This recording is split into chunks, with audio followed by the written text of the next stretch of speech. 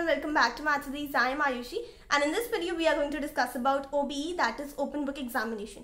अब हमें पहले से ही पता है कि जो first semester undergraduate students है उनके लिए ओबी अनाउंस हो गया है so first year first semester के बच्चे इस वीडियो को बिल्कुल भी मिस ना करें उनके लिए बहुत इंपॉर्टेंट है हम इस वीडियो में जानेंगे कि ओबी uh, कैसा एग्ज़ाम है what kind of examination is it और how to give such an examination um, is it going to be difficult or should should I be scared about giving such an examination because it's my very first time that I am going to write such an exam okay so just wait till the end watch till the end so that to get the answers to all your questions okay so let's dive into the video right so let's get started now the very first point here is by the way I'm going to tell you 10 points and um, these 10 points would definitely cover everything about this exam so so, start करते हैं the very first point is कि ये आपको exam अपने घर पे बैठ के देना है आपके घर के कंफर्ट में देना है अब ये एक इन्फॉर्मेशन वीडियो है तो मैं ऐसा नहीं कह रही हूँ कि बहुत बहुत ज़्यादा ईजी है घर में बैठ के देना exam but this is to inform you कि आपको अपने घर पे बैठ के देना है।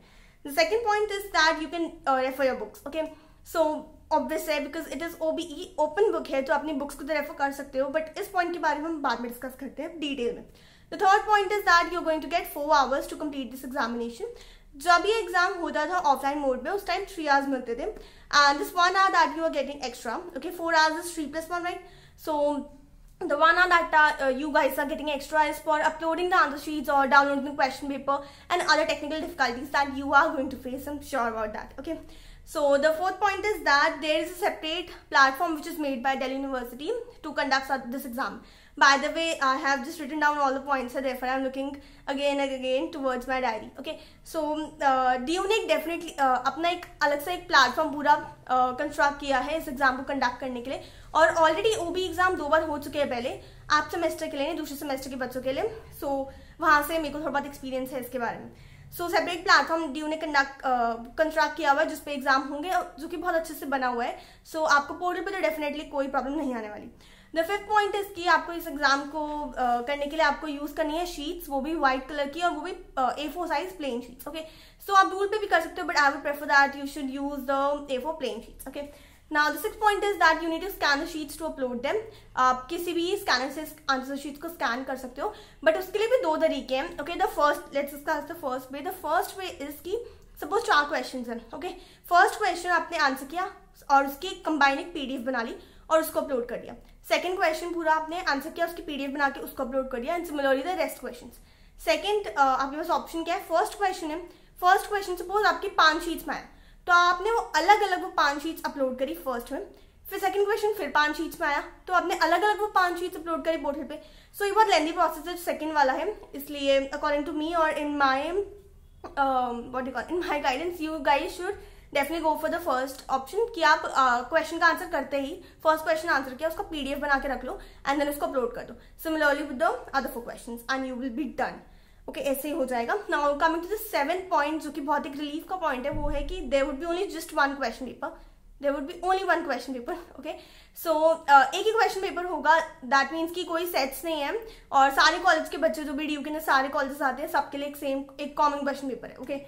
Now the eighth point is कि ये paper है कैसा okay so this paper is basically designed to check your understanding okay how much you have you actually studied okay so वो भी है that doesn't means कि you don't have to study it means that you have to study even more harder because uh, this is in my perspective I basically be, believe that you must be very well prepared for such kind of exam because uh, जब offline mode में होते थे अगर if I talk about maths specifically उस time पे क्या होता था कि आपकी थ्योरम ज़्यादा आती थी पेपर में बट क्योंकि अब ये होंगे ओबी मोड में तो आपके आपके अंडरस्टैंडिंग को, आपके कॉन्सेप्ट को चेक किया जाएगा तो उसमें आई थिंक ज़्यादा क्वेश्चन होंगे।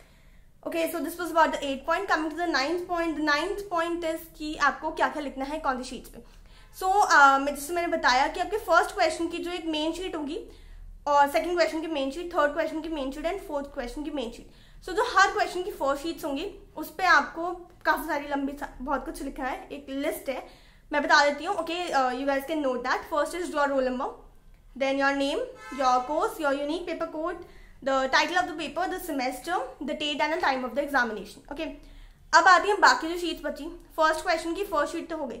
अब जो फ़र्स्ट क्वेश्चन की बाकी शीट्स हैं एंड सिमिलरली बाकी क्वेश्चन की जो शीट्स हैं, उन पे तीन चीज़ें होंगी। हर शीट पे तीन चीज़ें होनी मस्ट है।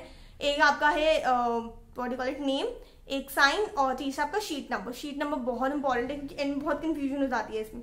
सो so, ये तीन चीज़ें आप ठीक से कर लें okay now coming to the tenth point की एक वे तो आपका पोर्टल पे आंसर्स आप सबमिट कर सकते हो अपलोड करके.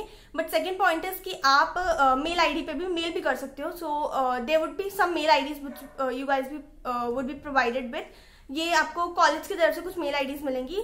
उन मेल आईडीज पे आप अपनी आ, अपनी पूरी आंसर शीट को मेल भी कर सकते हो। अगर बाई चांस अपलोड होने में कोई प्रॉब्लम आ जाए तो ओके सो so, इस केस में क्या होता है? इस केस में खाली पूरी एक सिंगल पीडीएफ बनती है।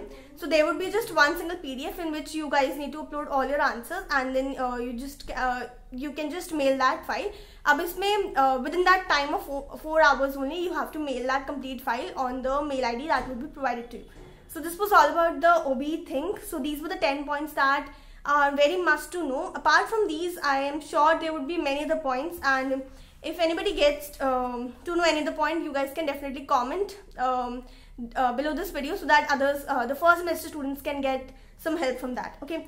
So this was all about the video. Thank you so much for watching the video. I'll see you in the next video. Till then, you, you should just keep watching the other videos okay and also you guys can follow us on instagram. There's a page uh, named as maths with ease. And um, we'll just uh, link this link uh, that down in the description box.